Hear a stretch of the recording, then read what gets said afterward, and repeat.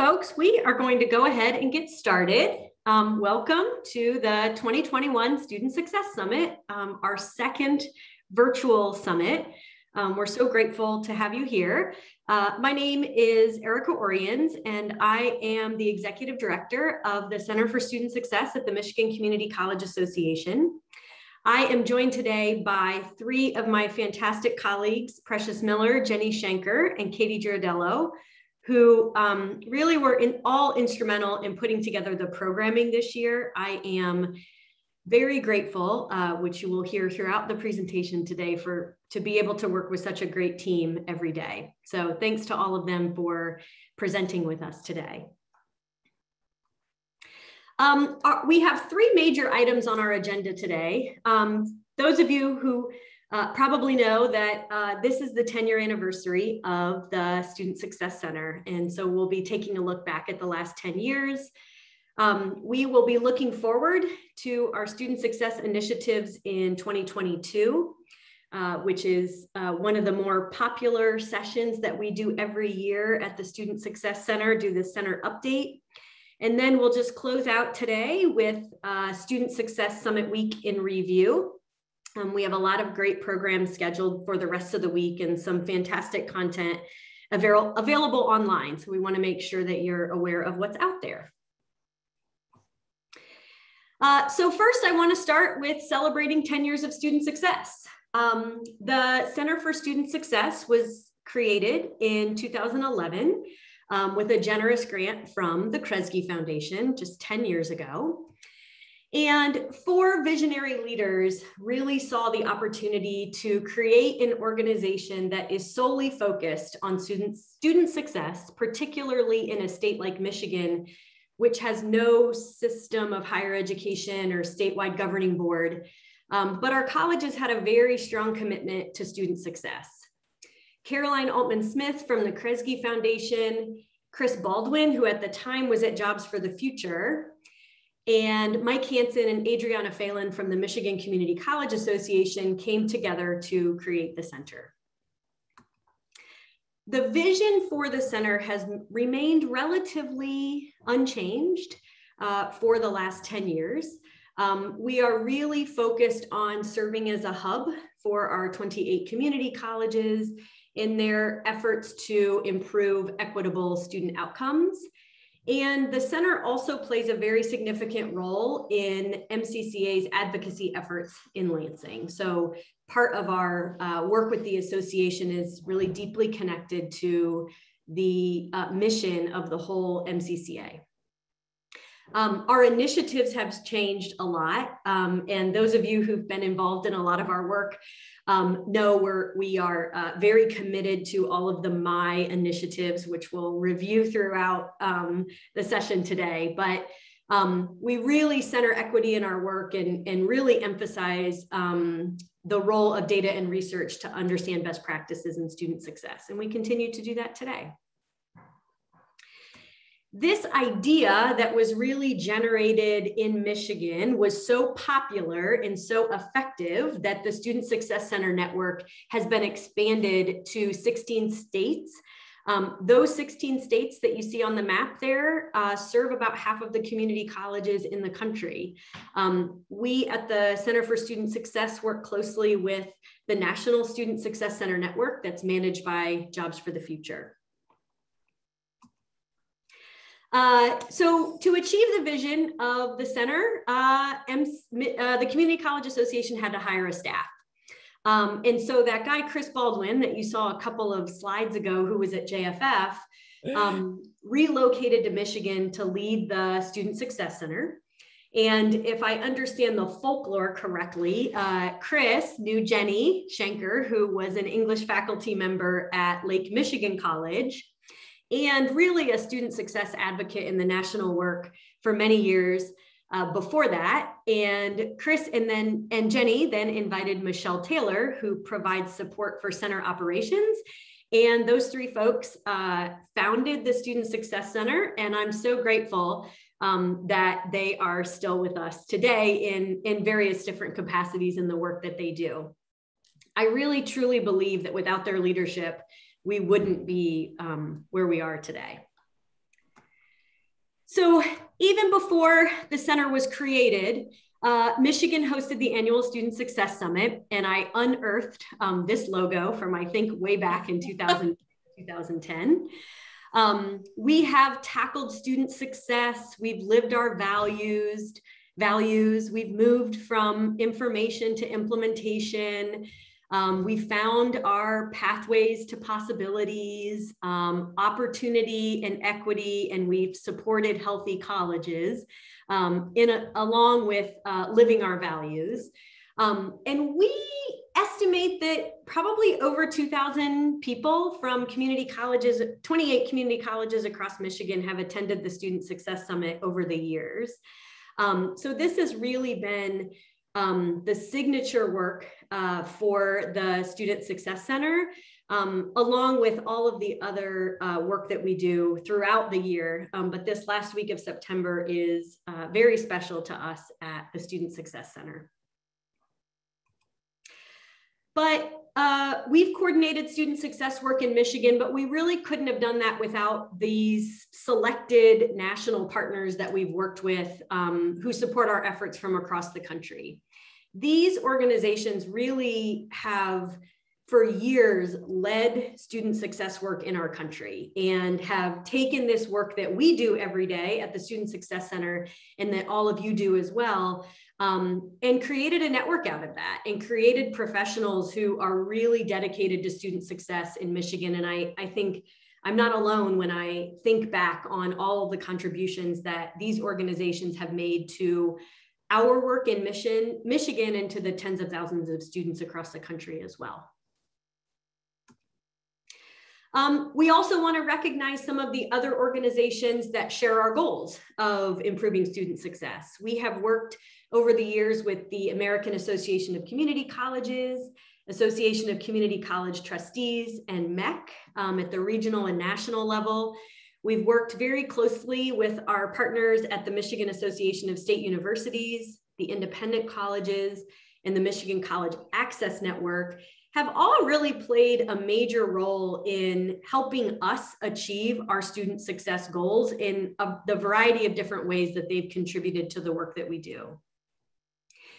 We also really rely heavily on uh, the affinity groups um, that are a kind of the collection of professionals that are across the state, which we sometimes refer to as the mix. Um, so we've got uh, MCDEC, MIXA, MODAC, Macau, McCare, Macro, MLAD, CMVE, all of those organizations that we work with all the time um, to do this work. And, and really, we're a very small organization, um, just a few people working at the center. Um, but the reason that we can remain a small organization is because of really the outstanding partnership with that we have with these uh, organizations across the state of Michigan that really rely on a network of volunteers to do the work that they do every day. Um, and it's a it's an incredible network of people who um, try to achieve this work in the state of Michigan. I want to recognize and thank our funders. Um, the center is supported in part by a dues assessment um, from the community colleges in Michigan. Um, but the majority of our funders has come, or the majority of our funding has come from um, philanthropy, uh, state, the state of Michigan, and, and other funders who who really share in their boards share our goal of focusing on student success in Michigan. Um, the Kresge Foundation was the first to see the value in this kind of network, but we're so grateful to all of our other partners um, who have been instrumental in supporting this work um, in our organization and across the state as well. So I want to give a chance to for some of those founding partners that we talked about earlier to share some of their thoughts on the history of the Center for Student Success. So with that, I'll ask if I can turn it over to Caroline Altman Smith. Caroline, are you with us? I am. Thank you, Erica. And thanks to all of you for being here on this Monday afternoon. Uh, my name is Caroline Altman Smith. I'm the Deputy Director of Education at the Kresge Foundation, which is based in Troy. And as Erica mentioned, we have been so privileged uh, to be able to be the first private supporter uh, of the center all those many years ago, but certainly not the last. And it's been tremendous to see uh, how that list of supporters has grown over the years. Um, I love seeing that map of the 16 uh, student success centers around the whole country, knowing that Michigan was first and in my completely unbiased opinion, uh, clearly the best. Um, and I think that that's really for three reasons. Um, the first is the visionary leadership that Erica referenced um, from the early days of Adriana and Jim Jacobs kicking this idea around, Mike Hansen's willingness to think about housing this work and making it a central part of MCCA's mission, um, Chris Baldwin as the founding director, and then obviously with Erica and, and Jenny and the tremendous staff, just having that stable core of really smart, committed, passionate people willing to wake up and do this student success work um, day in and day out for the past decade uh, has really been, I think, key uh, to this endeavor. The second is all of you, um, 28 community colleges in the state um, who have been willing to show up for all of those student success summits, have been willing to share your best practices, um, share what you're hearing on the ground from students, what's working in the classroom, what's working in terms of um, institutional policies and approaches to improving student outcomes. Um, that's really the lifeblood of the work of the center. There would be no center if there weren't all of these colleges uh, willing to so actively engage and share what they're doing and what they're learning, uh, and to enable the center and MCCA to take what you're learning on the ground and help feed that up into uh, policy and practice recommendations more broadly. Um, and third uh, reason I think for the success is the center has become the partner that I believe the state government and certainly many uh, foundations really need. Um, we're, we're just sitting like in an office park uh, many miles away from an actual community college student. And so to be able to have folks who have that deep relationship with people in the colleges are much more closer to the ground than we are, kind of feeding us those ideas, shaping up um, opportunities for funding that will hopefully lead to impact. Um, it's just been an absolutely critical partnership role um, for us in helping us uh, make progress on our own goals around boosting community college student success in Michigan and elsewhere. So we're just so proud of where the center has been. Uh, we know there are bright things ahead, and um, we're really excited to continue uh, this partnership for the next decade. Thanks. Great, thanks, Caroline. And we'll turn it over to Chris. Good afternoon, everybody, and, and thank you for uh, joining us this afternoon, and thanks for inviting me, Erica. This is, it's really um, sort of mind-boggling, really, that it's been 10 years. It's been, um, there's a lot that's happened in this 10 years in Michigan and across the country, but um, I've just been really so pleased to be have been a part of Michigan uh, Center for Student Success growth, but also uh, the growth of the national network. And I'm going to talk about that network in a second, but I will say, you know, going back to when the Michigan Center was launched, I was at JFF at the time, and, and a lot of these conversations grew out of the work, uh, at least from my perspective, grew out of the work of, of states and colleges in achieving the dream. And so a lot of this wouldn't have been possible without that initiative. And, and I think, uh, you know, the, the, folks, the visionaries that led that work uh, deserve a, a great deal of credit as well. I will say that eh, before I came to Michigan, there were a number of states that were thinking about needing oh, state level folks. I was working on state policy work at, at JFF, supporting the Achieving the Dream states that were involved in their individual institutions. And a lot of states, Michigan chief among them, were really trying to wrestle with how do we better support individual institutions as they try to grow and or try to implement and improve the outcomes of their students and what can we do to support that hard work of reforming what they do? And from that conversation came this notion of the student success center and and i will say that in, in the summer of 2010 um, there were three or four states that were really talking about this concept. Um, michigan arkansas pennsylvania at the time uh, I think Ohio was in those conversations, and, and I had an opportunity to, to talk with those folks. Um, but Michigan got ahead of the game um, th- than most. Although I will say, if Mike Leach from Arkansas were on the call, Caroline, he would he would argue about who was first. And so um, I always give him credit because I don't ever want him to think that you know we we uh, stole their idea, but we, we we all were really talking about this idea together. And I think the really important thing is, that there was this energy around trying to help institutions do the important work that they were doing on behalf of their students. And, and we were very fortunate to be able to, to get the support from Kresge early on and, and start the work here in Michigan very early on. But Ohio's work, Michigan's work, Arkansas's work, Texas's work, that those states were really the early adopters of this model. And the other 12 states really benefited from, quite frankly, us fumbling around about what this thing was. Um, it got to be later on when JFF and other partners started to think about how do we catalyze and, and codify what's going on in, in, in these really leading states around helping the institutions help their students. And so I was, uh, after I left uh, my role with the Michigan Center, I went back to JFF and had the great fortune of working with many of those additional states to launch student success centers. And it's been a real privilege to just see this this idea blossom and grow. And but it, it as with all innovation, you have to have early adopters, and you have to have people that are willing to step forward, take some risks, take some chances, mess up, make mistakes, learn from those mistakes, and move on.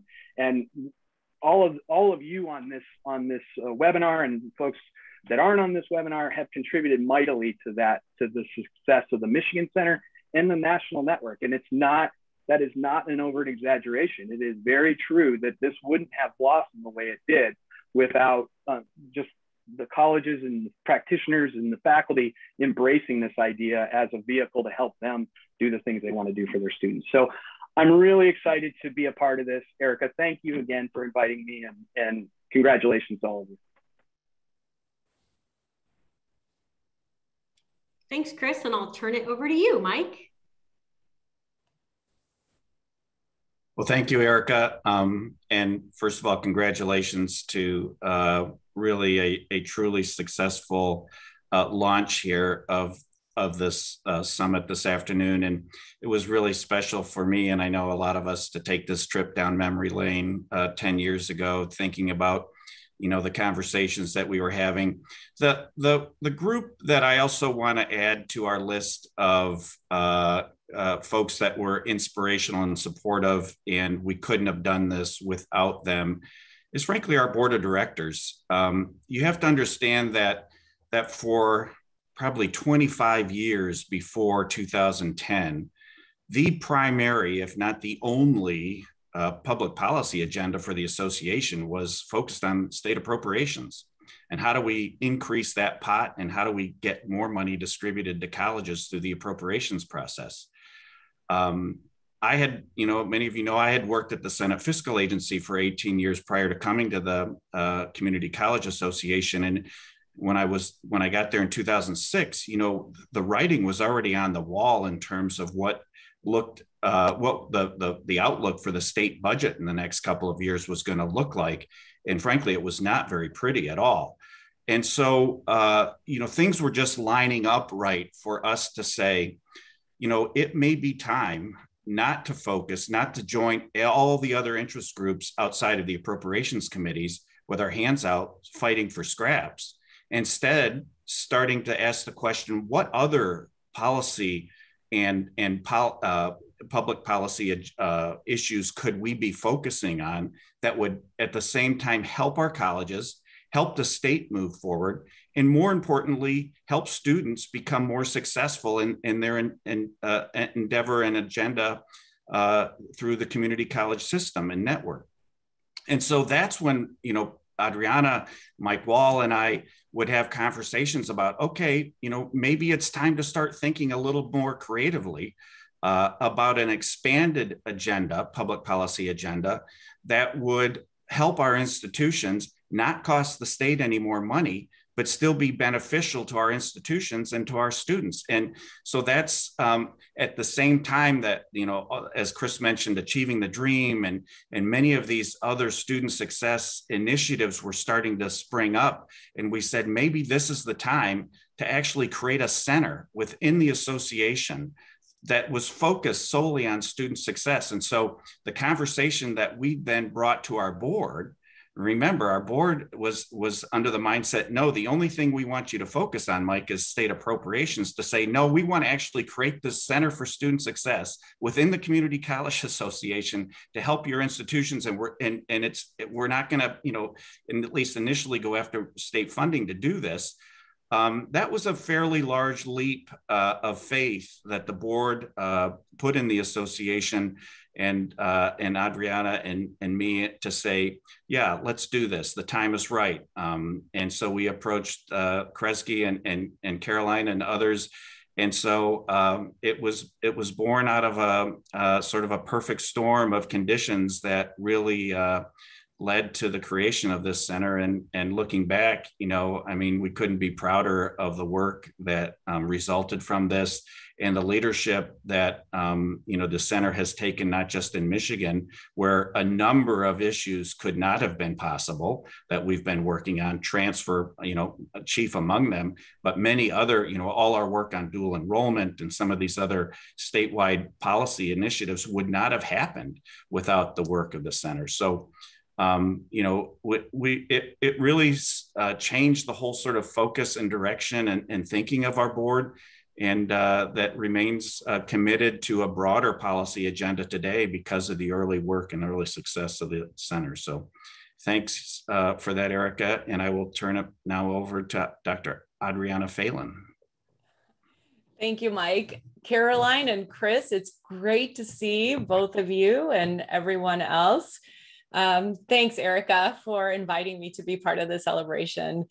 Uh, you know, over the weekend, I took a little bit of a trip down memory lane and uh, dug up the original concept paper for the center. It was written back in August of 2010.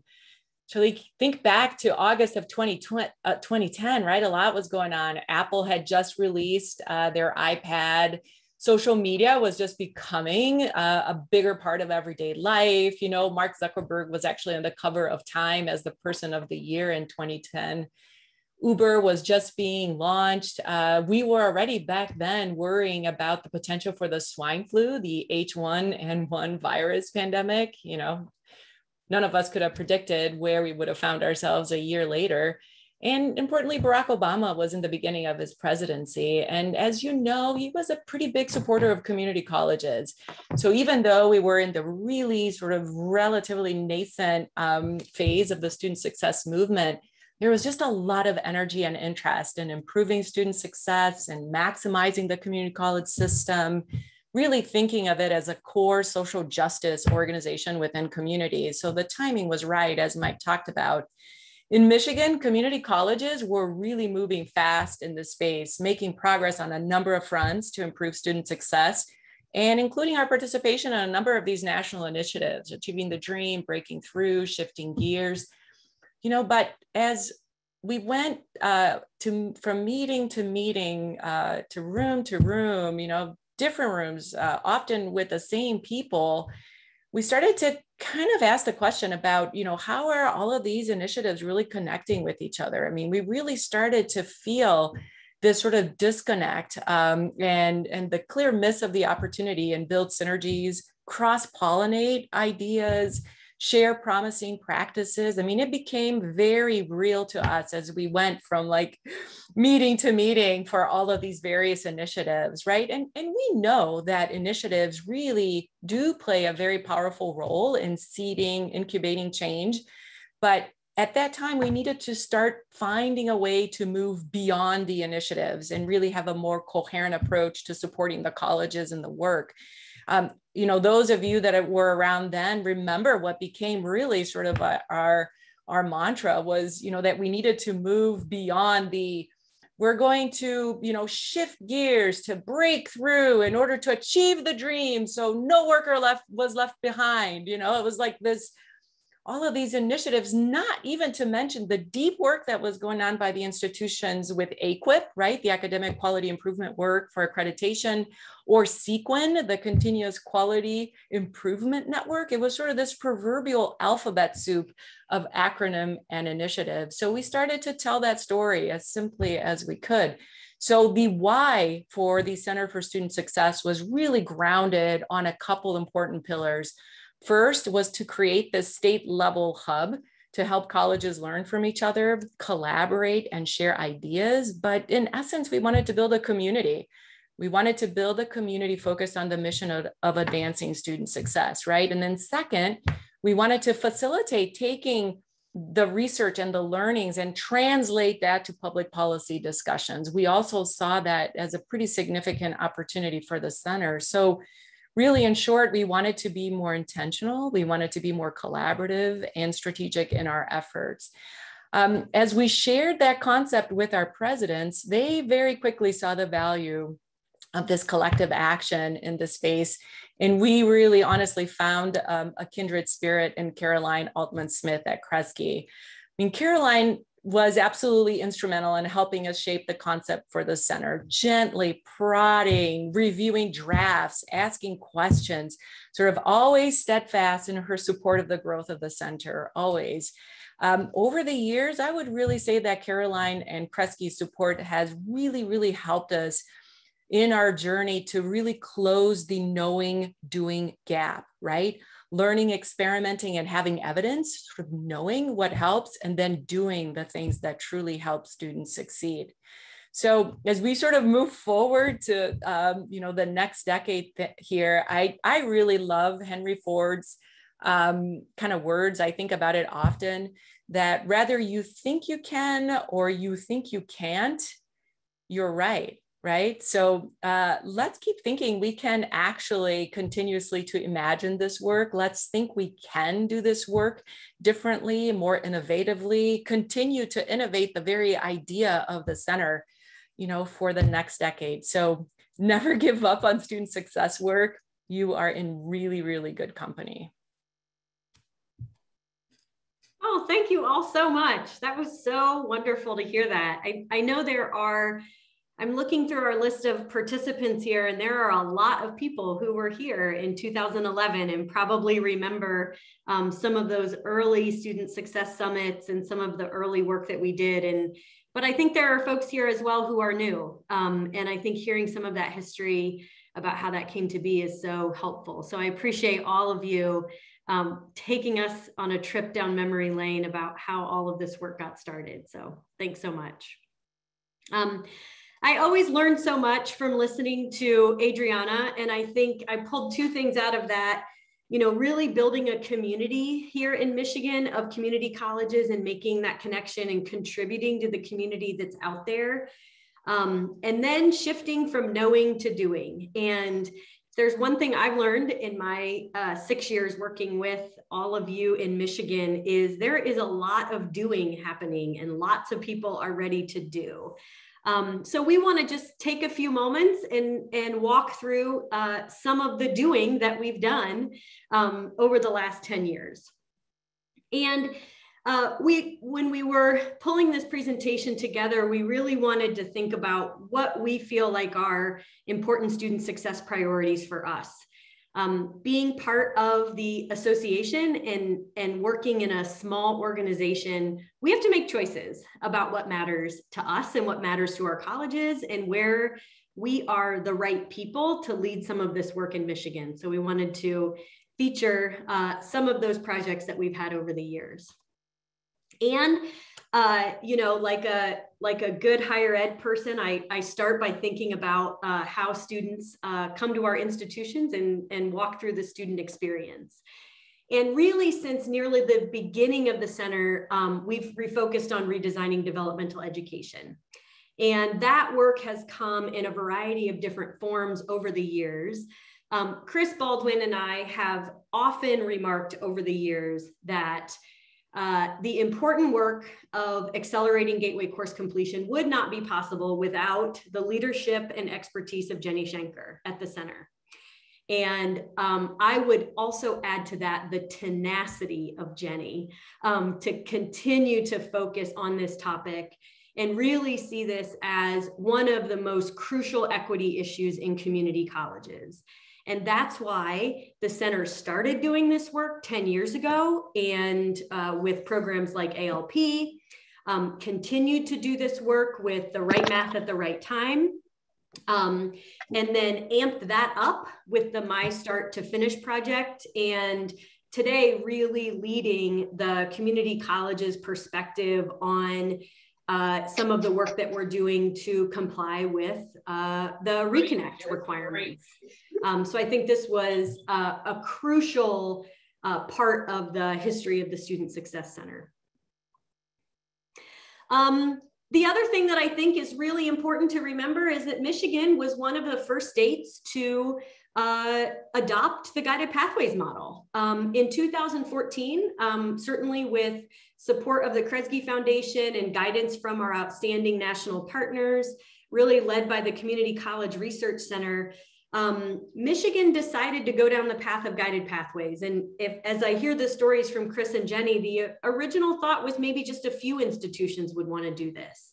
And then um, when Chris and Jenny took this to um, the MCCA board, it turned out that just about everybody said that they should be doing this. And so I can't say enough that I think prior to my arrival, um, knowing that Michigan was one of those early adopters of uh, the guided pathways work really was essential um, to trans transforming our community colleges. And at some point in one of our Zoom meetings with the MCCA presidents in the last year, someone remarked that surely guided pathways created the conditions for us to be able to weather the storm of the pandemic a little better um, colleges were had some of those practices in place that have been so essential for us to connect with students over the last 18 months. Uh, we are continuing to do this work now. Um, we uh, supported our Guided Pathways Institute for six years, and now with the support of uh, the Ascendium Education Group, we're continuing that work uh, through our Strengthening My, My Workforce Pathways work as well. Um, as Mike mentioned, really from, again, from the beginning, uh, one of the very first issues that the Student Success Center tackled was really focused on transferring or uh, improving transfer student outcomes. Um, that work really began with the redesign and relaunch of the Michigan Transfer Agreement. Uh, that is seven years old now, um, and we're taking a look at that again. Um, but uh, we launched the Michigan Transfer Agreement. We worked very closely um, with our colleagues in the Michigan Association of Collegiate Registrars and Admissions Officers, uh, along with the independent colleges and public universities to redesign the Transfer Network website.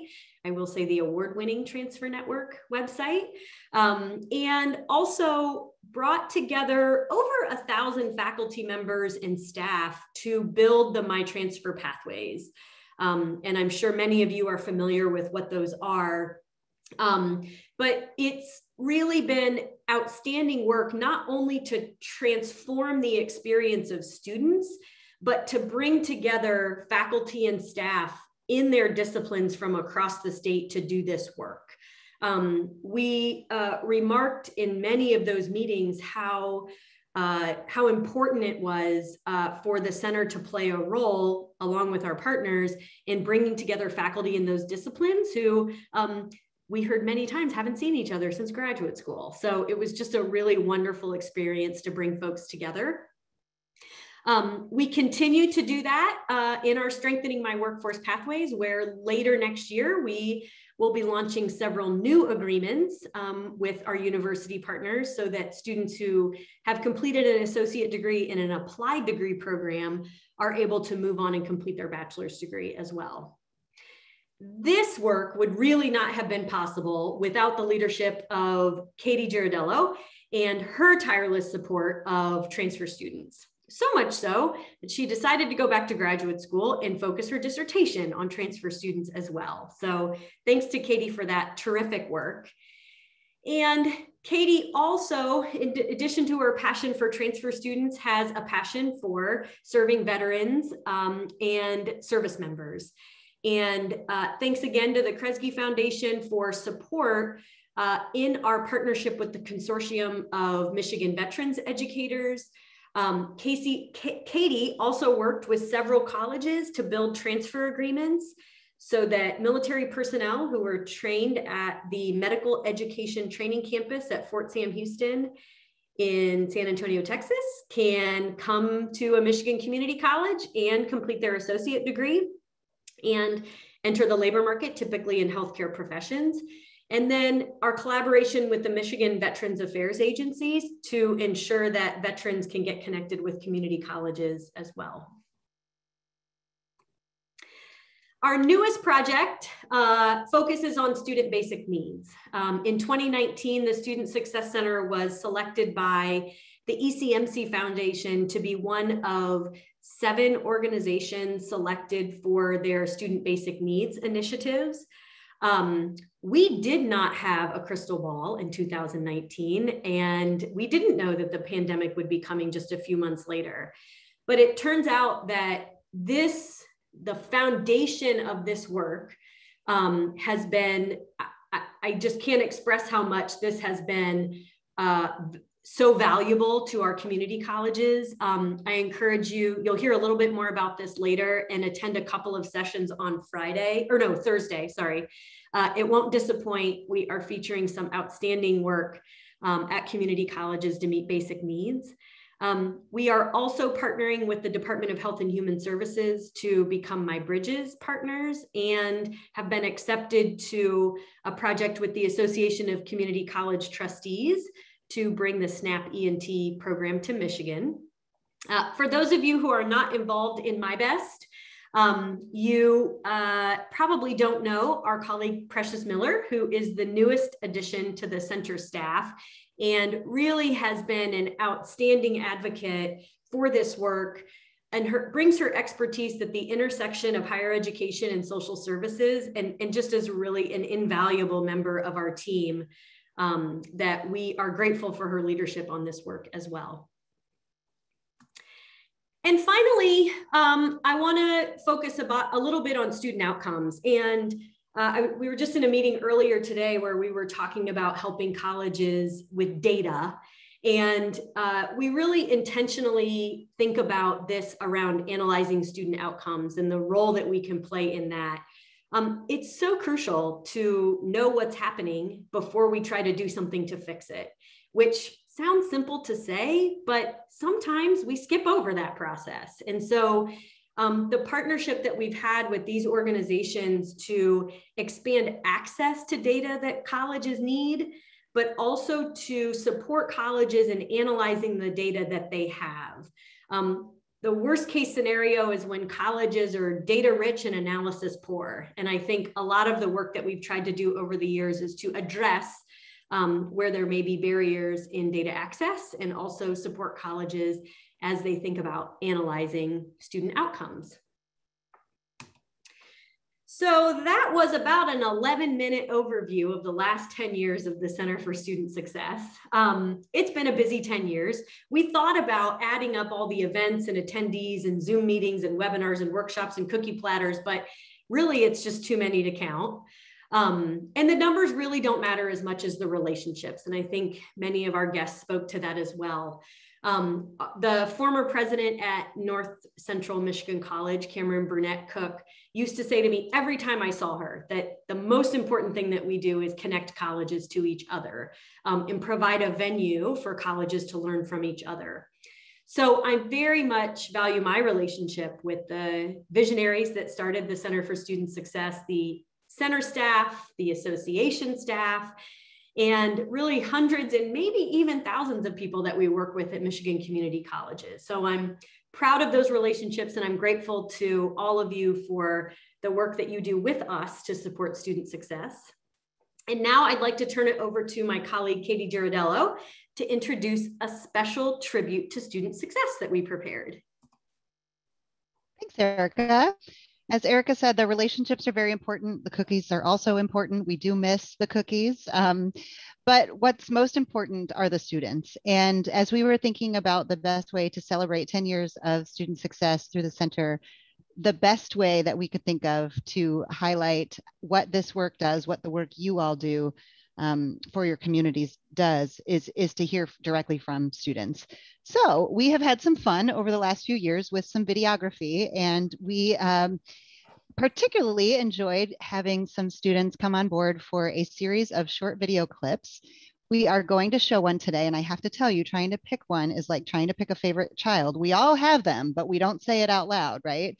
Um, but we are going to let uh, Catrice Qualls, who's a fantastic student from Schoolcraft College, speak for her peers and tell you why your student success work matters so much. All right, technical break here. Katie, can you see my Zoom, my YouTube? Yes. Yes. All right.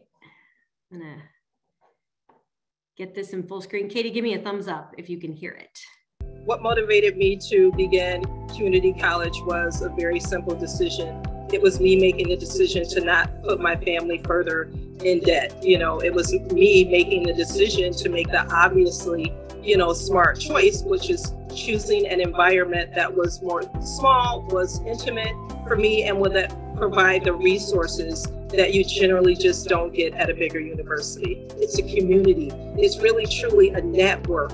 So having that close knit network, having the resources to say that yes, as a non-traditional student, we can take time off if we need there in between. That's why this pathway is so very unique. That's the difference between this and university. You don't have to worry about where you are. You're meeting someone else's timeline. Community college is here for you on your time. And this is this is a huge deal for me for so many reasons, not just for myself, not just so that I can show my children, but for me to show other women, for me to show other individuals, period, no matter whether they're a non-traditional student, whether they're a veteran, whether there's somebody that they started on the track five years ago, 10 years ago, and they wanted to do something more they thought they couldn't. There is an opportunity. The door is always open to choose community college and choose an avenue that's going to put you on track for success. So for me, it's just continuing to help set the community up for success. So that's what gave me my voice was knowing that there was something that I needed to do, but just figuring out how I could align my passion with my purpose. And community college gave me the opportunity to do that.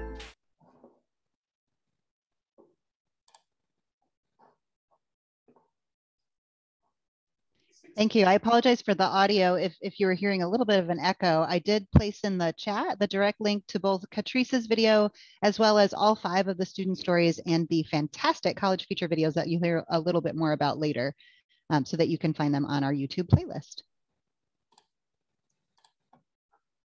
Great. Thank you, Katie. Um, yeah, there are five great videos. Um, I, I mean, who doesn't love hearing from students? Um, and so I really encourage you to go out and take a look at those.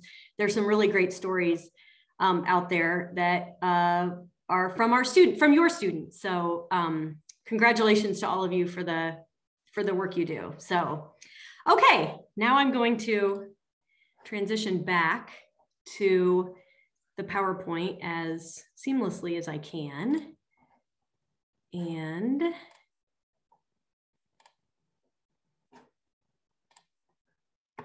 Okay, so our next topic, um, those of you may or may not know um, that the president of the MCCA, Mike Hansen, is retiring this year. And Mike uh, has led the MCCA for 15 years. Uh, and you, you heard from him a little bit earlier. And honestly, the passion that he speaks about today 15 years after he started doing this is the passion that he has had about this work for the entire time he's been at the MCCA. And even though he's retiring, I swear I think he could probably keep doing this for 15 more years. Um, he's really that um, passionate about community colleges. I, I don't want to give him a re another retirement job, but if you are ever looking for someone who can speak about how important it is to be an advocate and to call your policymakers.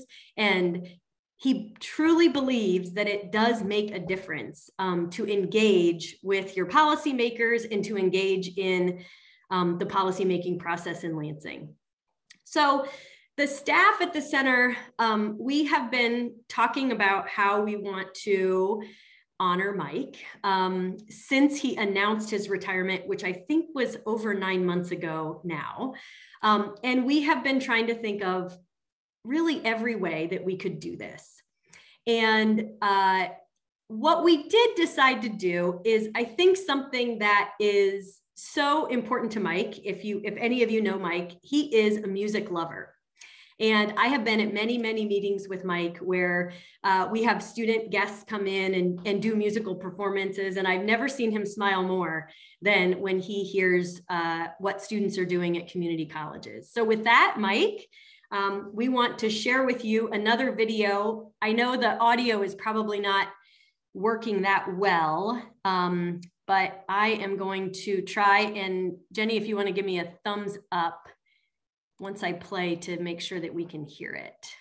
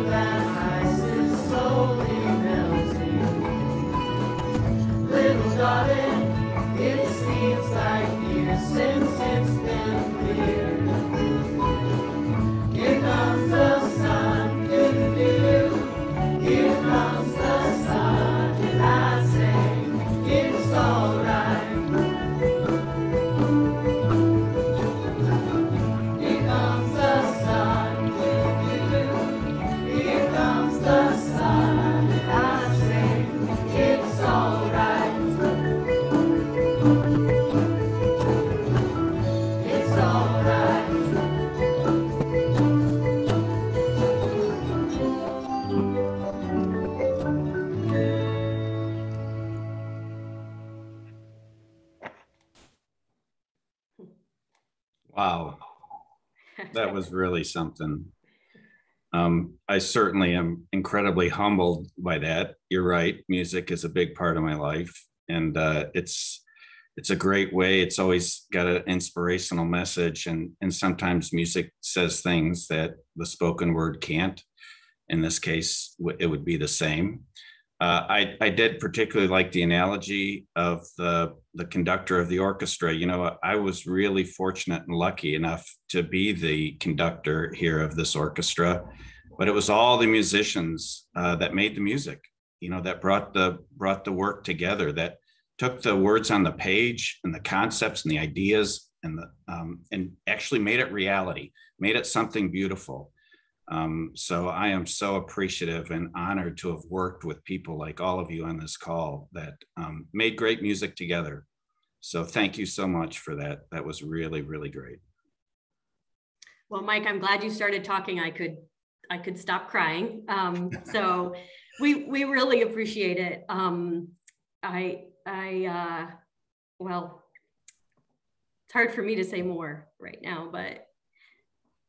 Uh, Thank you. Congratulations, Mike. Mm -hmm. we decided we were all going to cry in unison.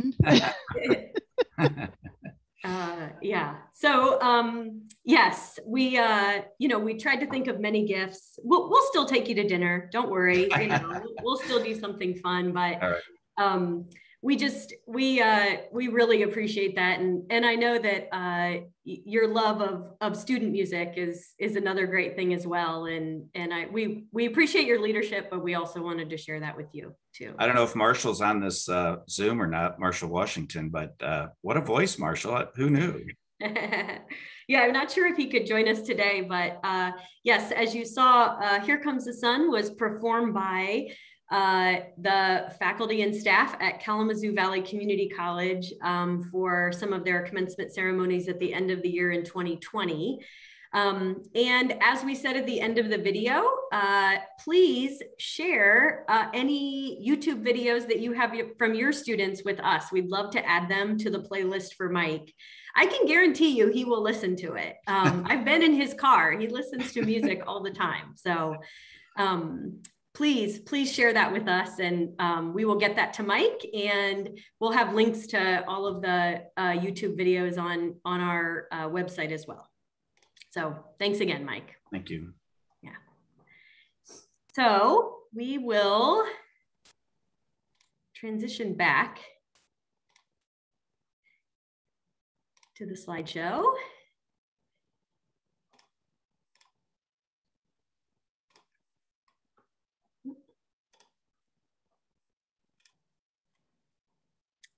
Okay, can you all see my screen okay? Okay, great. Okay, so with that, let's transition to uh, the what we describe as the always popular, never disappointing annual center update. Um, we evaluate the, you know, the sessions at the Student Success Summit every year. And we think, boy, why do people want just an update on all of our projects? But it is the best evaluated session of the entire summit. So uh, we do it every year because I think everybody likes to hear what we're doing all in one place. And so with that said, I will turn it over to my colleague Precious Miller to talk about MiBEST. Thank you, Erica. And good afternoon to every one of you. It is such a pleasure and an honor to bring you this year's uh, MiBEST Update um, for those of you who were instrumental in the foundation of the center. I believe that MiBEST is uh, a perfect fruit um, example of the hard work and dedication that you all poured into the center. And so it's, it's such a pleasure to give this update this year. Uh, as Erica mentioned earlier, I am uh, my my name is Precious Miller, and I am the coordinator of MiBEST, uh, one of the newest additions to uh, the center. And I have the opportunity to work with some incredible institutions to uh, lead the work of MiBEST, which is an initiative that focuses on institutions designing systematic strategies to really address and combat the non-academic barriers that our students are facing and are at our campuses. This is accomplished through the scaling of four guiding principles, which are uh, understanding student needs, connecting students to campus supports, bringing community resources closer to students, as well as ensuring that students have access to the supports that are available to them. That includes both on and off campus resources. So through the scaling of these principles, we have seen some really groundbreaking efforts from our colleges. And this is uh, prior to the pandemic, but definitely at the onset of uh, COVID-19, from mobile food pantries to increasing mental health supports, both uh, telehealth as well as in person, developing student intake forms to better understand and anticipate student needs has been instrumental for a lot of our students. We've also seen uh, an, an increase in cross-college collaboration and cross-training events. These accomplishments have been amazing to celebrate and it's an honor to be a part of this work. Earlier this year, we also released uh, MiBEST publication, also written in partnership with Dawn Coleman. And the publication is titled The Intersection of Economic Stability and Student Success. This report further details institutional implementation of the guiding economic stability practices. So the graph that you see here is an excerpt from our publication and displays the comparative data of colleges increasing the implementation of the practices to ensure that the holistic needs of our students are, are met. Uh, we also have seen our colleges actively engaging the voices of our students to inform uh, the revision of many college practices. So I encourage all of you to check out our publication. Um, it is clear to me that community colleges continue to be the leaders in ensuring economic stability for Michigan students, and the publication just raves of, of that work. So um, understanding the has been a heavy focus over the last year as institutions work to implement strategies and supports uh, that are informed by the student voice. So, in partnership with Trellis Research, the Student Financial Wellness Survey was launched in fall 2020. This was an amazing partnership because it gave us insight into topics like financial wellness, uh, basic need security, and institutional support. We had over 10,000 responses. Can you believe it? 10,000 responses. 10,000 students wanted to share their voice with us. And from their input, we learned that 70% of students worry about having enough money to pay for school, and 86% of students reported the COVID 19 pandemic adding to their levels of stress, anxiety, or depression. So, from the survey, what we learned um, is that community colleges are instrumental uh, partners in supporting students in their basic needs. Um, community colleges um, and their work. I have um, my five-year-old decided to um, join our session today. So if you hear um, him in the background, that's um, that's my oldest son, Kai. Um, so from the survey, um, our institutions are making groundbreaking um, strides to support the holistic needs of our students.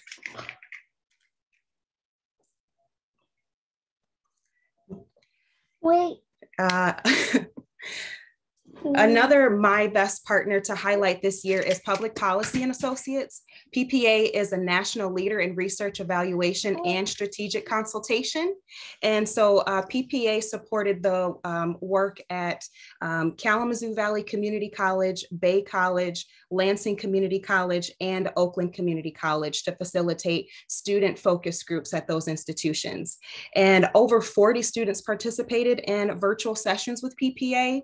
Um, from, from the focus groups, we learned that um, students wanted to um, ensure that institutions knew that they want um, to hear about supports from a variety of communication streams, but they also wanted us to know that students um, have a variety of different needs from um, older students to those students who are returning to the classroom.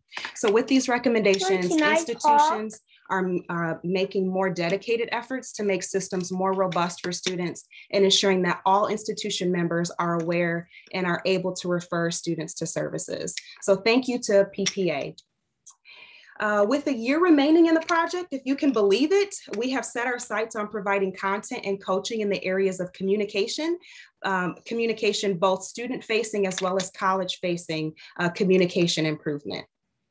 Uh, we are also looking to integrate feedback loops into student services, allowing for colleges to gauge the success of their communication efforts with students. Strengthening community partnerships is also another focus for the coming year, as a key principle in student financial stability is connecting students to community resources, and you can definitely learn more about that in our publication. Uh, SNAP E&T is another area Mama. of focus that uh, Erica mentioned earlier in our presentation. Mama. Can I do it? Not this time, son. It's mommy's turn. Mm. When I'm all done, you can have a turn. Okay. No. so um, I um, encourage all of you to stay tuned because uh, it is clear that the center is innovative and progressive as far as making sure that our colleges have access to the supports that they need. And that includes expanding the work that we're doing with uh, college students who are also SNAP recipients. Uh, we will um, be sharing more about that in the year to come. So if you have enjoyed the MiBEST Update thus far, I assure you we have literally only scratched the surface. Um, this Thursday, September 23rd, we will have two sessions that center other key elements of MiBEST. So the morning session, we will highlight the innovative work of Grand Rapids Community College, Mott Community College, West Shore and West Shore Community College. We will also uh, take virtual tours of all of these institutions. Um, like many of you, I have been housebound with my family. And one thing that I have really missed is being able to um, get out and explore the spaces of our institutions. And so this session will definitely give all of us that opportunity. We will also hear from each college during that time. Wait. And then our closing session will feature our keynote speaker, Dr. Dominique Hammonds, backed by popular demand. Um, she is going to charge us all to dig deeper into the practices of self-care because it positions us to bring ease, excellence, and enjoyment to our spheres of influence in all of our work. Thank you so much for giving me the opportunity to share my son and give you all an update about the center.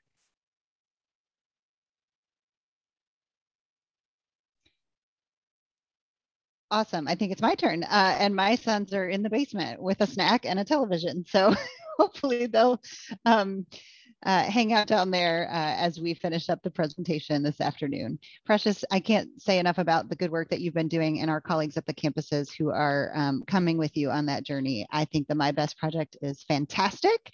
Um, and as much as I love to evangelize about transfer and supporting service members, I think what you're doing and what the colleges are doing to support um, students with financial need and um, bolster their, their basic needs is just tremendous.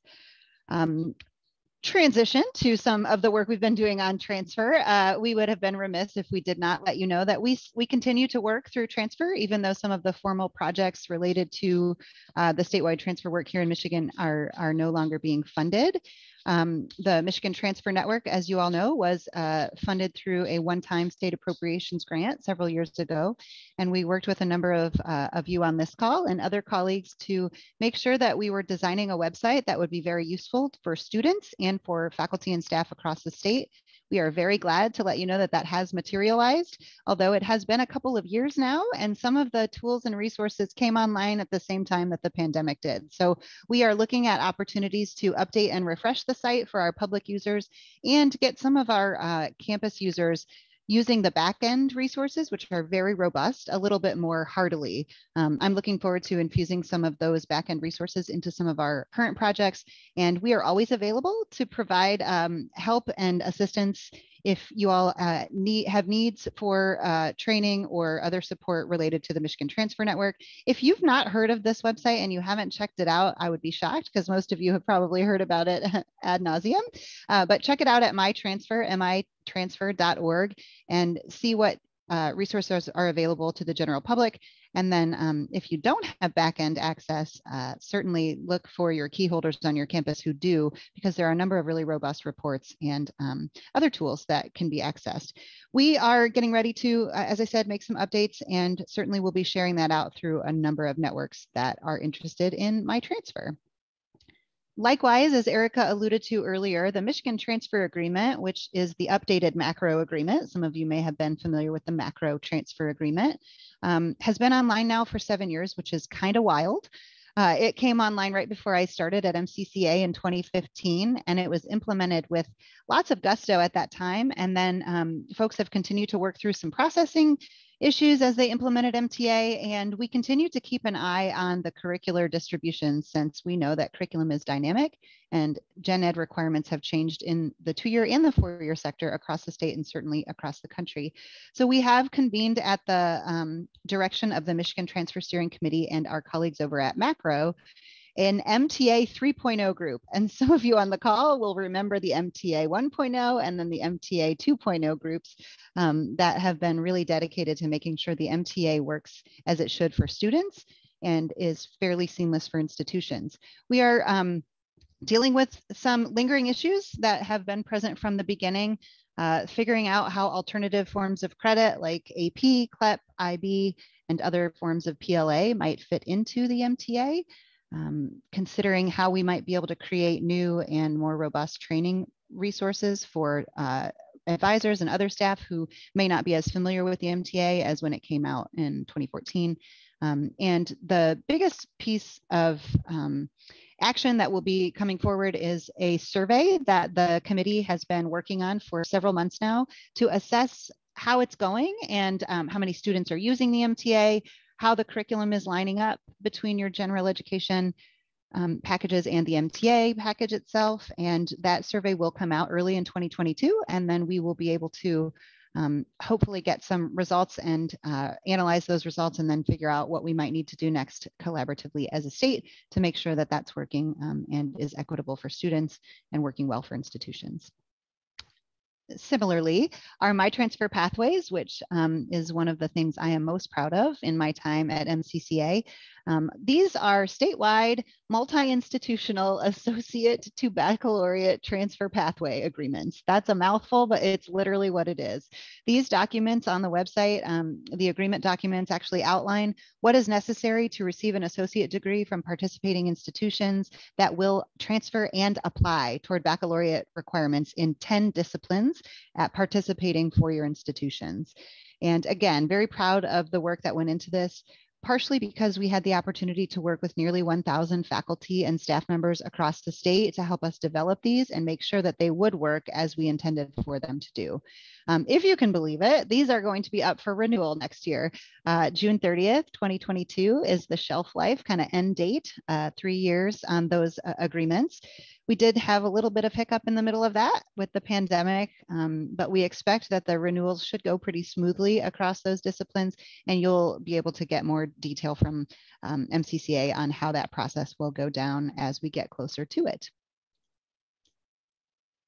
And I'm excited that we have several, um, I was supposed to say this in the last slide, but it's okay, you don't have to go back. Um, we have several new projects online that are focused uh, on transfer, but in a slightly different capacity. So Erica, um, you'll hear more in, in a moment, and Erica spoke earlier about our new um, My Workforce project, which will be expanding some transfer pathways into applied bachelor's degree programs. And we are very excited to kind of be on the cutting edge of that work across the country. And also excited to be collaborating with the Community College Research Center on our Strengthening My Humanities project, which is funded by the Mellon Foundation. Uh, CCRC is doing some quantitative and qualitative research um, kind of studying the process that we are using. Jenny and I are co-leading this project and um, co-leading with a, variety of faculty members as well. So you can see there's a theme here. We have a core group of faculty leads in four disciplines that are helping us set the stage for this project, which will uh, heat up this fall. And we'll also look to strengthen transfer pathways, which Jenny will tell you more about.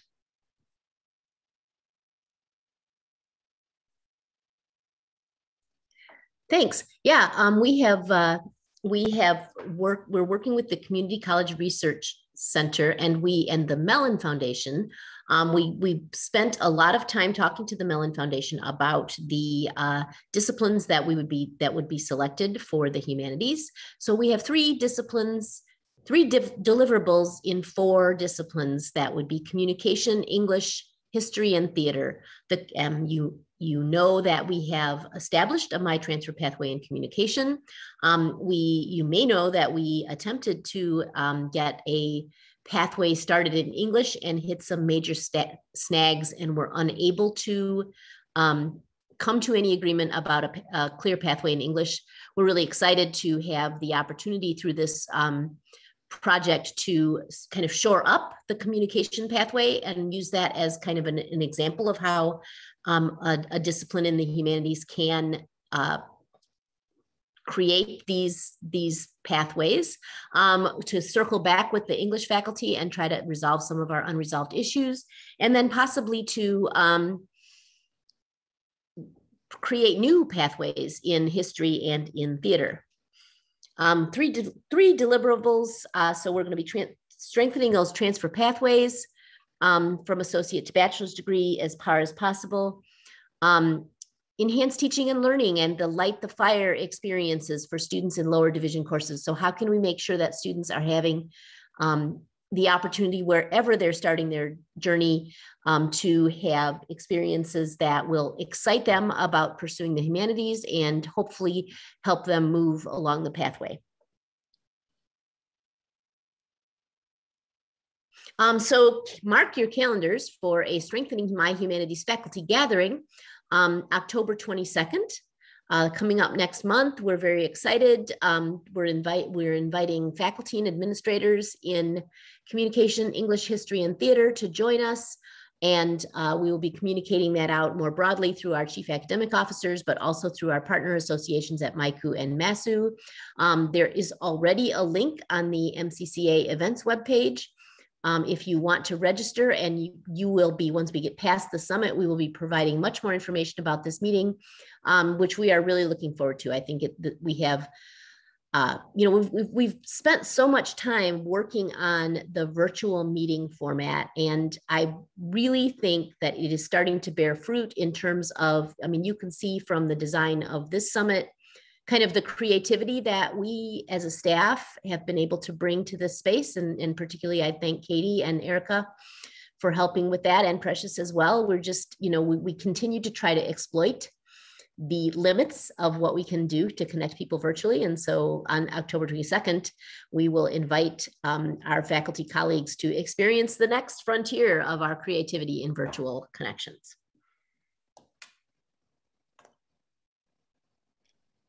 Great, thank you, Jenny. Um, we, as uh, Jenny and Katie talked about strengthening my humanities, I'm gonna transition to talk about strengthening my workforce pathways. And this work is uh, generously funded by the Ascendium Education Group, and it really focuses on a lot of our applied degree programs. Uh, the project is really about strengthening equitable access to and through workforce programs. And as you'll see a little bit later, we're focused on four crucial aspects of workforce programs. One is program design. Um, I think this is particularly important as we're hearing colleges more frequently talk about the impact of the pandemic on their workforce programs, on the workforce needs of their local community. And as we know over the last 18 months that we have struggled to engage with uh, both traditional age recent high school graduates and adult students to access and complete our programs our first strategy really focuses around uh, a select group of colleges that are interested in uh, thinking about their workforce program design. We will be working with several national partners, including the Aspen Institute, the Office of Community College Research and Leadership, and on this project as well, working with the Community College Research Center and our partners at JFF to support colleges participating in this. The second strategy we're focused on um, will support colleges in their work to award academic credit for industry credentials. So of course, many of our workforce programs prepare students to sit for industry credentials. Um, what this work would like to do is flip that back around and help colleges award credit for students who already have those industry credentials. Many colleges do that already, but in our strategy, we will build out the functionality of the Michigan Transfer Network. So not only can colleges award that credit, we can do more to communicate with students and employers about how students can uh, receive credit and how that would translate into an academic program. Our third strategy uh, focuses on building transfer pathways to the bachelor's degree in applied degree programs. Um, you know, there was a one point in the history of community colleges where uh, students got an applied degree program and they may not have needed or got an associate degree in an applied degree program and didn't need to um, go back for further education. And increasingly, students are looking for a bachelor's degree and beyond after they get their applied degree.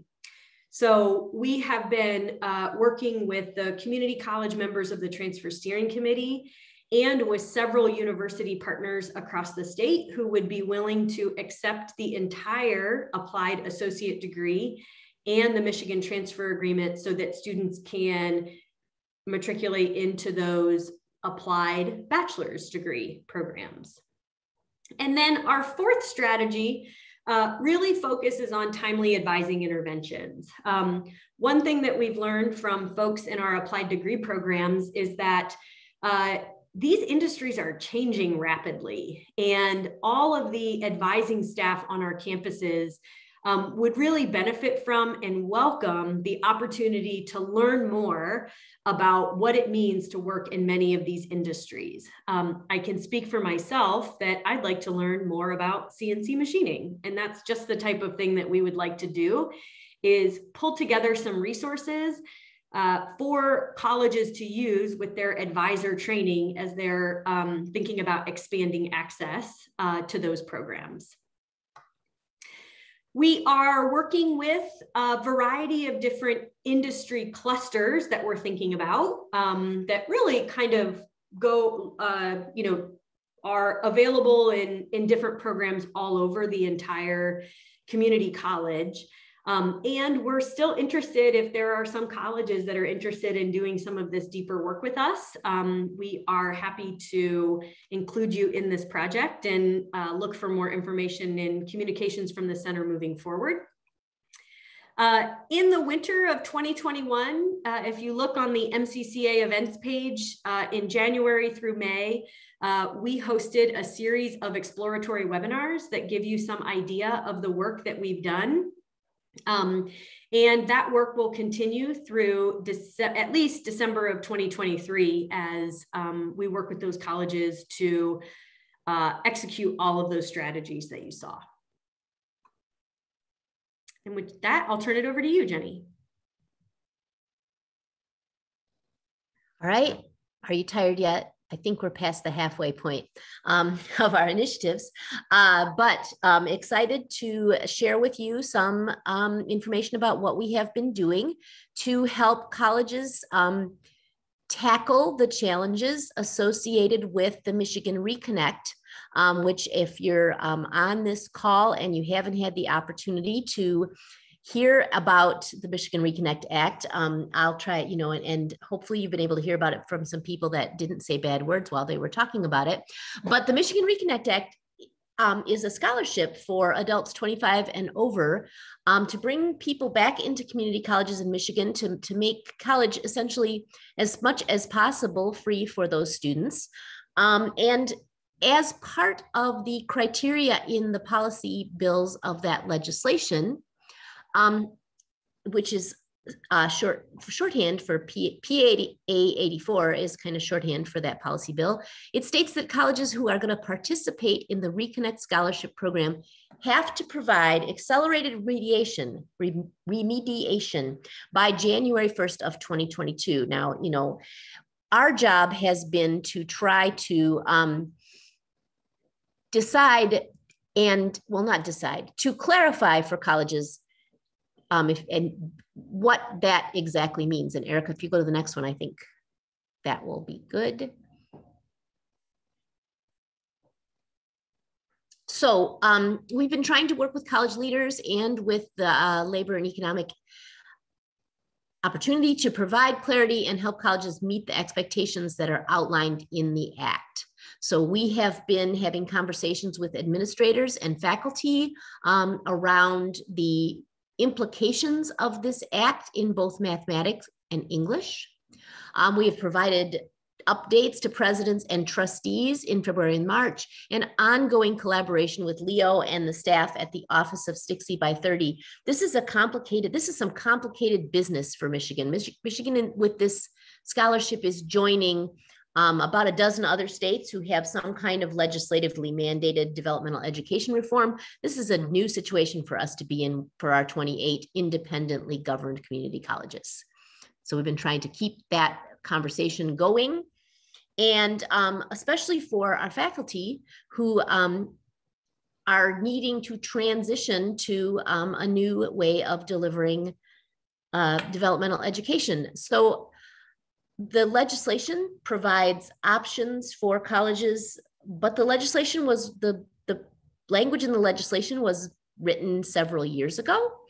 So um, since the legislative language was written, um, the research, the national research has coalesced around co-requisite delivery, um, which means that the students take a the developmental support class at the same time as they are taking a gateway college course in either English or math. Um, one of the things that we were able to do at the Center for Student Success was to launch um, a kind of a hybrid uh, academy program for faculty who are making these transitions. So we developed this, this virtual academy. Um, we had about 90 plus faculty who participated and that was really that's pretty impressive about um, 17 or 18 colleges sent faculty to the reconnect academy um, and we were able to facilitate a set of live we, we put together some resources online and some discussion boards using canvas. And then we were able to facilitate a set of live virtual sessions almost all of which were led by Michigan faculty with experience in teaching in the co-requisite format, format. So in, um, in statistics, in quantitative reasoning, in the math pathways, um, in English and integrated reading and writing. We, we are fortunate to have some faculty who have been on the leading edge of this and who were able to share their expertise with their colleagues, and that was exciting. We hope to continue to um, have those conversations as faculty go back to their colleges to implement.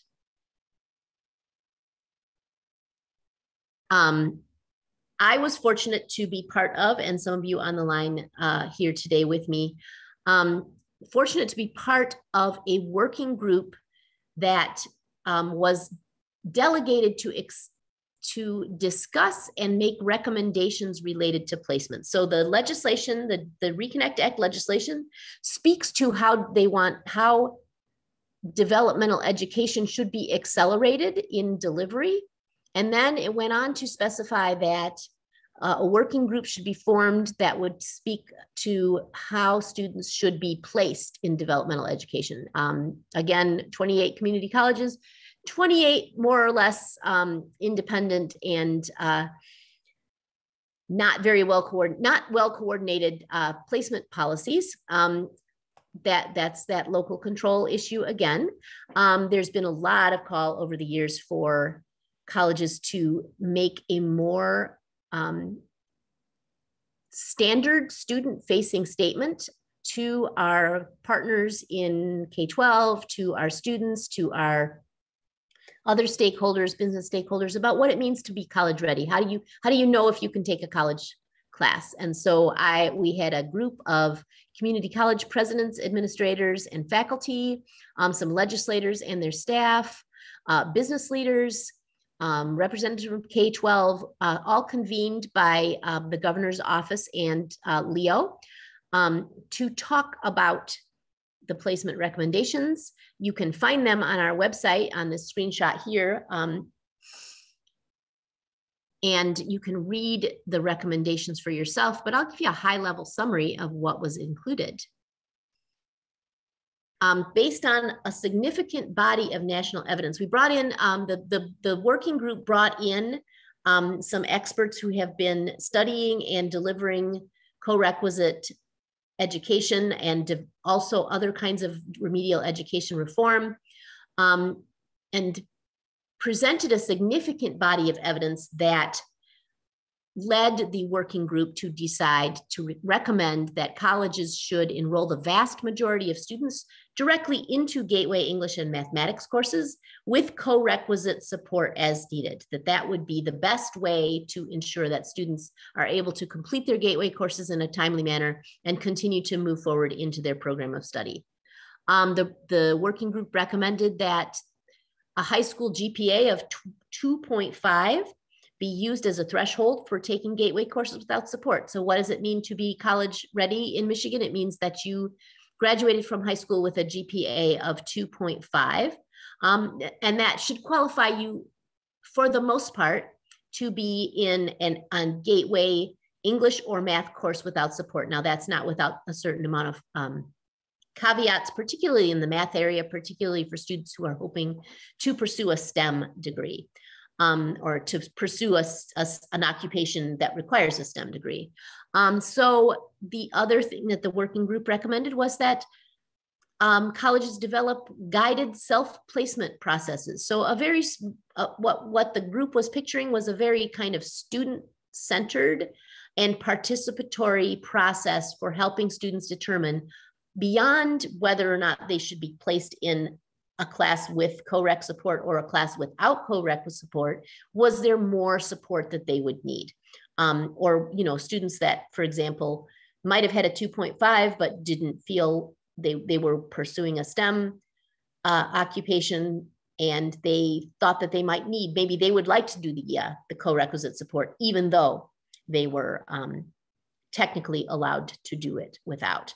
Um, or perhaps their, uh, their high school education was a long time ago and they felt um, uncomfortable and wanted to pursue some other support in by taking that enrolling in that co-requisite support or perhaps by enrolling in some kind of boot camp that the colleges or or extra tutoring or supplemental instruction that the colleges have designed. There's a lot of ways that colleges can use the criteria in the recommendations and the reconnect act to provide more support for students that would still allow the students to move more quickly through their um, developmental uh, pro, you know, developmental and gateway courses so that they're not prevented from making progress towards their degree, which which sometimes happen, which okay, let's be honest, more often than not seems to happen when students are placed in long sequences of prerequisite developmental programs. The, the research is overwhelming that the students who place near the bottom of those sequences don't get through to the college level course, much less to the completion. Um, so, and also the, the other thing in the recommendations is the idea that we continue to evaluate the effectiveness of the, the approaches that we're putting forward, keeping our ears to the ground on the latest research. That's how this happened, that between the time that the legislation was drafted and the time that the recommendations were created, we, we centered around COREC because that's where the research was going. That doesn't mean that that's where we'll be forever. So we're going to continue to evaluate that. Um, so what's next? We're going to convene a group of stakeholders. We're going to start meeting next week from colleges and K-12 to provide some guidelines around this high quality guided self-placement project process. There's a lot of um, moving parts to doing this well, eliminating the potential for bias and um, making sure that it does end up being this student-centered, centered, participatory, and successful um, approach to advising. And it's going to help. We're, we're going to also need to um, provide some support to the advising community. And, and there's a lot of people in Michigan who are serving as student advisors in a lot of different ways. And it's going, the, the move towards this idea of guided self placement is going to involve more of those people doing more different things. Um, with we're also continue to monitor and support colleges who are working to meet that January 2022 deadline to accelerate DevEd per the legislation.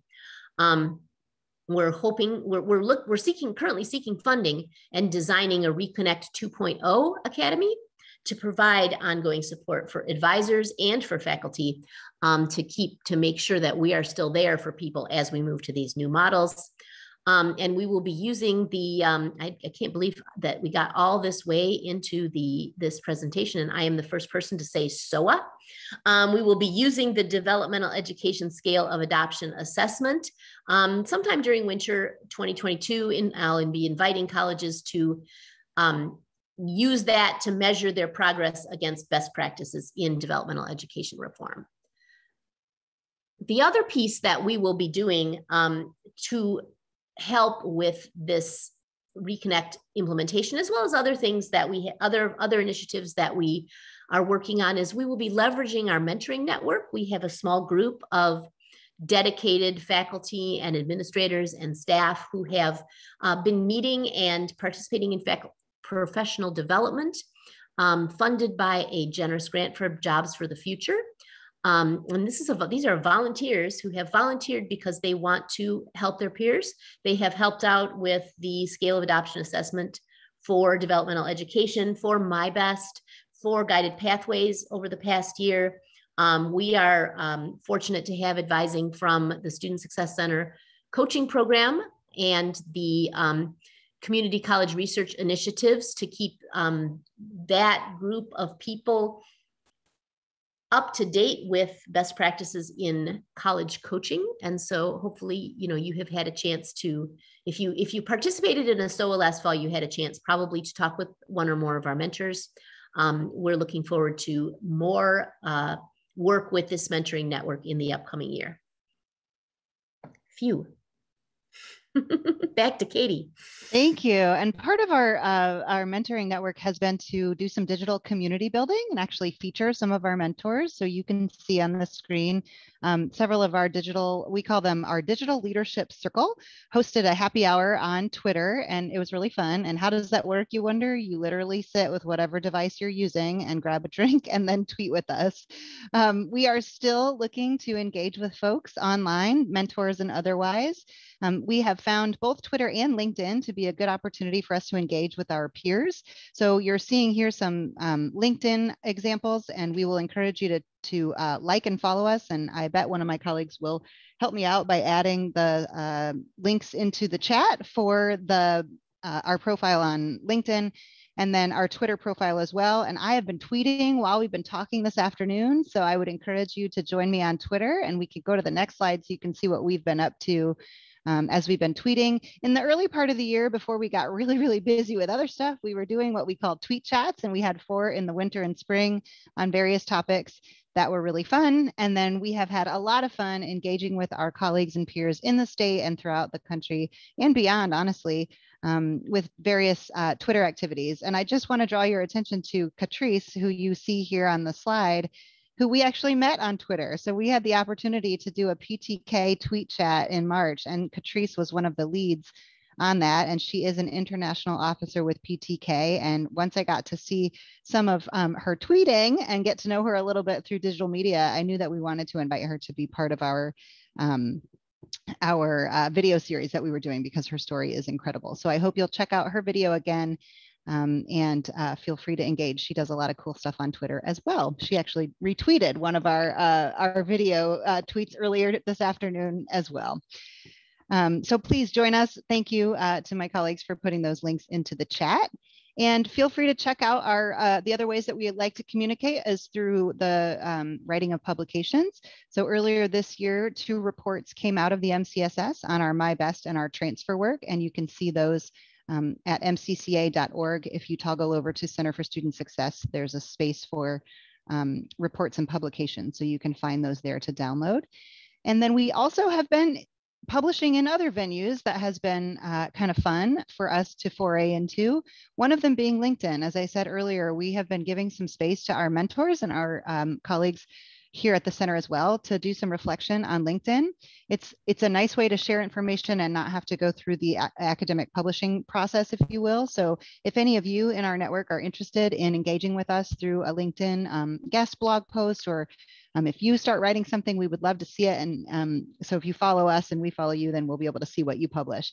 Um, there are a few links in here too that are other mediums that we were invited to uh, author for, including the, the Ferris State uh, uh, perspectives on community college leadership. And then Jenny and I enjoyed writing an article for the CCRC Mixed Methods blog about our My Humanities work as well. So check us out on online. And um, certainly throughout the week, we will continue to um, be seeing you online, both in Zoom and then um, in some other ways that we'll show you in just a moment. And I am going to kind of close us down by letting you know what to expect the rest of the week. So in addition to uh, a schedule that I'll go through in a moment, you got to see and hear about our videos that are a part of our virtual conference this year. Those are all, if you go to the summit page, um, you will be able to find a, a little button at the top that says videos and the student videos are on top and then the college feature sessions are down at the bottom. There are some of the folks who, who submitted those, those videos on the call today and I must thank you, thank you, thank you for your time and energy putting those sessions together we last year's virtual conference was awesome. We had some great workshops um, and virtual sessions, but we didn't get to hear from our colleges, and we really, really missed that. So we enjoyed the opportunity to work with a videography firm this year and um, a multitude of our colleagues to put together some video sessions that really highlight the student success work that is happening on your campuses that is truly changing the, the game for students throughout our campuses. So we are grateful for your time and I hope that you will take a look at those videos. Um, we will uh, tomorrow be starting the day off at 8.30 with a cooking demonstration. So I hope you'll join us for that. And then the roundtable sessions at 9 and 12 are truly what they say they are. They're roundtable sessions, an opportunity for you all to talk with one another. Um, we will be pulling from our videos for those roundtables, but you don't have to have watched them all to be able to participate in the conversation. Um, but I will let you know that that's a little plug maybe to watch them so that you can uh, talk about the content with your peers. And then in the afternoon, we will have a great panel on leadership perspectives on race, health, and student success with several of the presidents from our colleges. On Wednesday, we will again start the day with a My Healthy Lifestyle session, um, joining you, uh, joining us for a meditation that is just gorgeous. And if you're looking for an opportunity to start your day uh, with some quiet reflection time and see some of our lakes on the screen and some beautiful music, then I hope you'll join us at 8:30. We will again run our roundtables at 9 and 12. These are the same sessions, but you can come to all of them if you like, because you will have the opportunity to talk with different people about some different topics. So we hope to see you at those sessions. And then we will hear from uh, Lake Michigan College and some of their community partners on how they have made health a priority on campus and in their community uh, Wednesday afternoon. And then Thursday, again, a final, um, the final day of the summit. I will be tweeting about this, but I will invite all of you that are here today to join me for Comfy Clothes Thursday. We will start the day with a yoga session, very low key yoga session, by the way. It's not intensive. It will be very restorative um, and keep those yoga pants on for the rest of the day because we want to be comfortable as we end the week together. We'll get to hear lots more from Precious and her colleagues who have been working so hard with their MiBEST work and um, see some great videos as part of her session. And then I can't say enough good things about our keynote speaker, Dr. Hammonds. If you joined us last um, summer for the session she did on trauma informed advising, I'm sure you got a lot out of it, both professionally and personally. I said it felt like a big group therapy session, and we asked her to center wellness um, on her keynote remarks. And I think that you'll really enjoy hearing from her and working together through some of um, the trauma that we've experienced over the last year and putting ourselves first so that we can put others um, right behind us and, and make sure that we're providing good support for them. I've already asked you to come join us on Twitter and LinkedIn. I'll ask again because there's money on the line for you. Um, because we can't give tchotchkes away and provide you with free food during this year's summit, we're doing a daily hashtag raffle. You can use either LinkedIn or Twitter to use our hashtag, which is hashtag myhealthycolleges21 um, or maybe comfy clothes Thursday, as Jenny put in the chat. I, I could probably come up with something for that as well. Um, but we'd like to hear from you. What, what are you taking away from your sessions? Some of our presenters are interested in engaging with you on social media. Feel free to ask them questions in either platform. And if you use that hashtag, you will automatically be put into our raffle.